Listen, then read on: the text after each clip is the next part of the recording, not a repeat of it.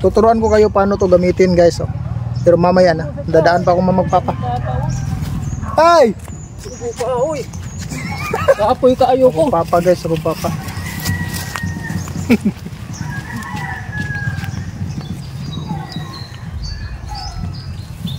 Hindi ko isda ah. Guys. Bangos oh. Buaway, bangos sa inyo. Amo na. Ma. Yo,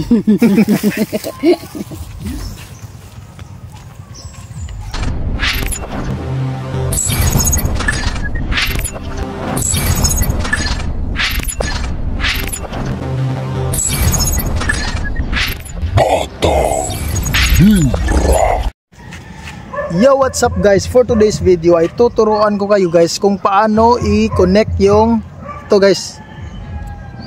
Yung microphone sa inyong cellphone, mga Vivo, mga Android phones. Kung paano i-connect ang microphone at ito. So ganito lang yan guys. First step, hanapin mo yung settings. Ayan, tapos yung OTG dyan sa Bluetooth and devices. Ibang cellphone kasi guys, may OTG dapat i-on pero yung sa akin hindi ma-on yung OTG kaya hinayaan ko na lang kaya balik na lang tayo sa main menu guys ngayon guys hanapin nyo yung play store. I-install nyo yung open camera. Na-install na yung sa akin guys. Kaya i-open ko na lang. Yan. Open. Tapos settings. Hanapin nyo yung camera preview. Yung camera preview guys oh. i-click nyo yan. Tapos hanapin nyo yung ah teka lang ah. Yung show audio level meter. Naka-check na guys. I-ano ko ulit. Tapos i-check. Yan. Dapat ganyan yung format guys yan tapos back na back to menu na tayo. I-on mo ang yung video. Video i-on mo.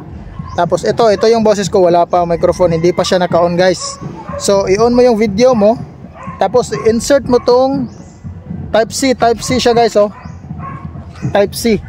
I-insert mo sa ano dito sa cellphone mo. Yan nasa screen. Ganyan insert mo tapos hindi mo na kailangan i-on siya guys. Insert mo lang. Tapos itong switch may switch dito guys ito. May switch i-on mo lang yan guys oh. I-on mo. Tagal mag-on na hoy lubat ka. Ito guys pag na ganyan na Ibig sabihin kapag nag-blink-blink pa siya, hindi pa siya nakakonect. So i-connect natin guys ha. Ito yung boses ko na hindi pa naka-microphone. So i-connect na natin to. Yan. Oh, ito na. Kapag naka-connect na siya guys, kapag naka-connect na siya, green na lang siya. Hindi na siya nag-blink-blink. Green na lang oh. Tingnan niyo yung ano, ilaw. Green na lang. So i-testing natin ha. Hello. Ito yung boses ko guys na may microphone na. Kahit ito guys, oh. ilagay natin dito sa i-clip natin dito sa bag. Kanya. Clip natin sa bag. Hello, hello, hello. Hello, hello, hello, hello. Punta ko dun sa malayo guys. Kung marinig pa ba yung boses ko, ah, malayo. Dito guys, rinig ba guys? Dito, rinig. Rinig ba? Rinig ba dito guys? Nandito malayo na ako mga ano. Um, sasabihin ko sa inyo kung ilang steps guys. Basta malayo na dito guys. Dito. Dito. Dito ako guys oh. Kakaway-kaway ako guys. Malayo na to guys. Malayo na. Dito lalayuan pa natin ha. So bibilangin ko guys kung ilang ano ha, ilang hakbang. Ilang hakbang mula dito sa ano kinatatayuan ko guys ha, ang aabutin ng mic. Ano ko sa inyo ang aabutin ng mic. 1 2 3 4 5, 6, 7, 8, 9, 10, 11, 12, 13, 14, 15, 16, 17, 18, 19, 20, 21, 22, 23, 24, 25, 26, 27, 28, 29, 30, 31, 32, 33, 34, 35, 36, 37, 38, 39, 40. 40 hakbang guys.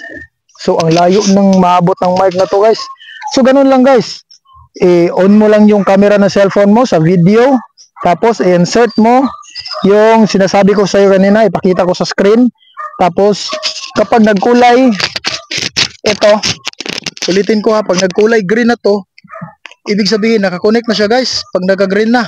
Pero pag red, green, red, green, hindi pa nakakonect. So ibig sabihin hindi pa naka-insert 'yon. At guys, yung 40 hakbang, yung 40 steps na ginawa ko kanina guys, hindi pa yun yung last guys. Sa tingin ko, aabot pa ng 60, 60 na hakbang. Kasi malinaw pa siya eh. Tiningnan ko kanina, malinaw pa siya. So, hindi lang yun 40 steps, siguro mga 60 or 70. Malinaw pa rin siya guys. Malayo na eh. Layo na yun.